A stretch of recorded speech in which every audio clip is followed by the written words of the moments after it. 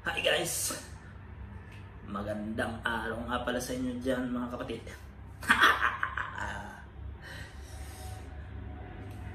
Natutuwa lang ako.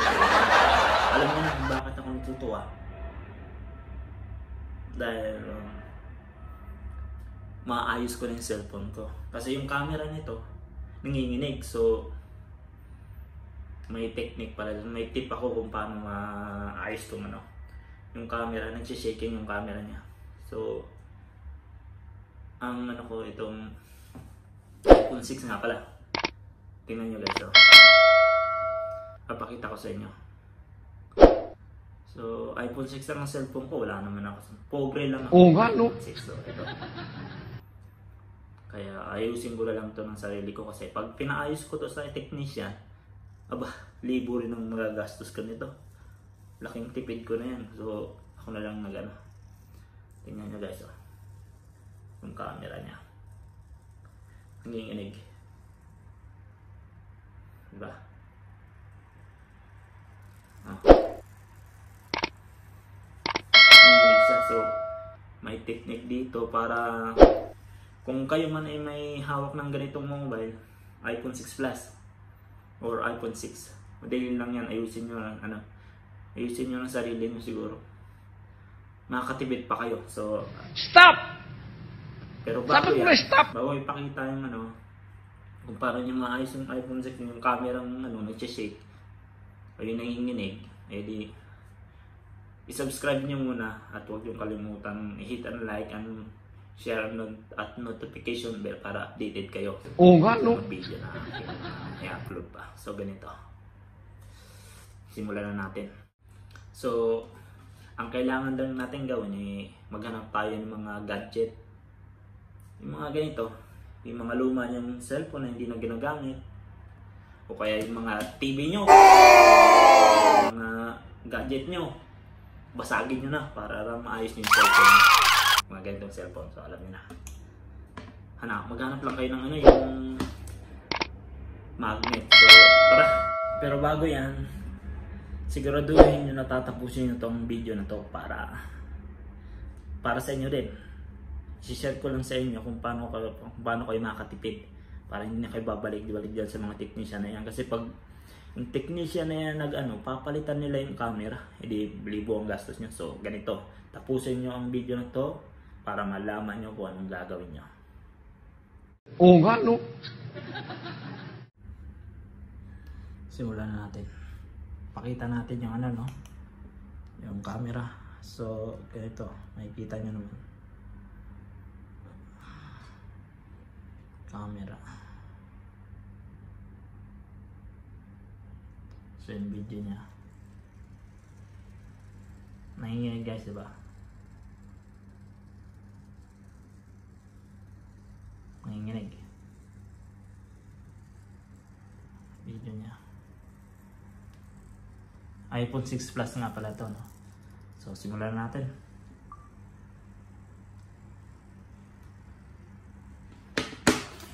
Ito baklasin nyo lang to. So yung cellphone na yan. Yung ano yung cellphone na to may ano to no? Hanapin nyo lang tanggalin nyo lang yung mga yan. Sirain nyo na ano yan. Yung speaker nito may speaker to. Yun yung gamitin nyo yung speaker ng cellphone, yung kahit anong cellphone, kahit anong gadget, kahit TV, may speaker yan. So, kunin nyo lang yung ano, yung ganito, magnet na yan. Magnet lang ang kailangan dyan. Ito magnet na. Kita nyo. Magnet. So, ako lang nga pala, home tools. Uh, pinapadali ko lang yung ano. Diba? Magnet.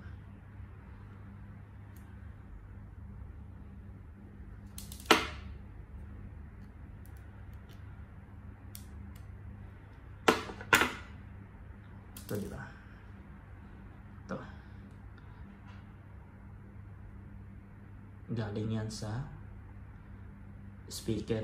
Speaker ng mobile. Kahit yung mga sira-sarang mobile lang, pwede na. Di ba? Magnet na yan. So, ganito. ganito lang ka mabisa yan, mabisa mabisa. Tingnan na natin, subukan natin.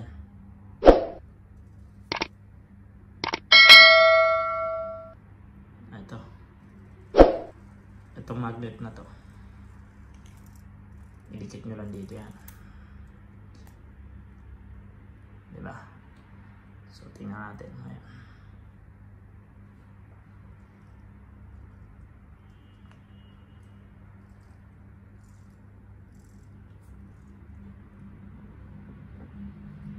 Ba? Pwede niya siyang super glue pero mapangit naman akong ano. Eh, so super glue ito. Pangit, ma ano.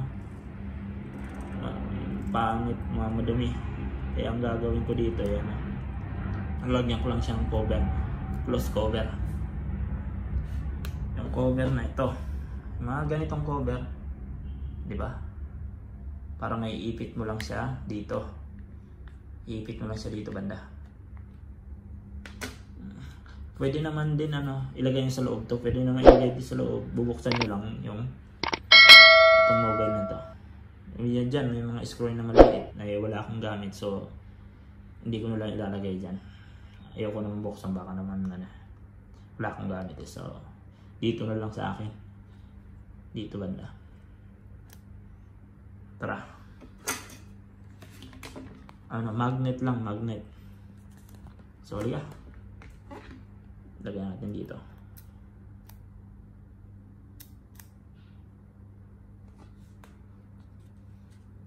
Dito na siya nila, tapos itakip na natin to. Di ba? So, ayun. Ganun lang kasimple. Ganun lang kasimple uh, pag-ayos ng ano. Tipid pa kayo, hindi na kayo gagastos. Tipid, makakatipid kayo. So, malaki matitipid nyo. So, ito guys, oh. Subukan natin. Ganito, pag tinanggal natin yung magnet, Wala nang hindi na siya nanginginig.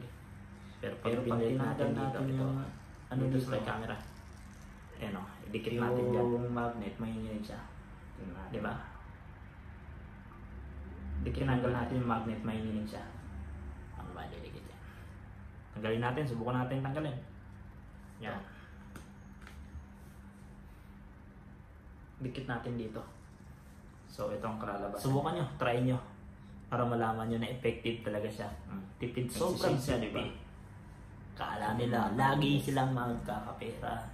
Para nga pala to sa mga Yung iba kasi mga iPhone 6, technician eh, masyadong ano, garapan. Yan, Technique technique. yan. Tip. Tipid pa kayo. ha! Laki matitipid nyo.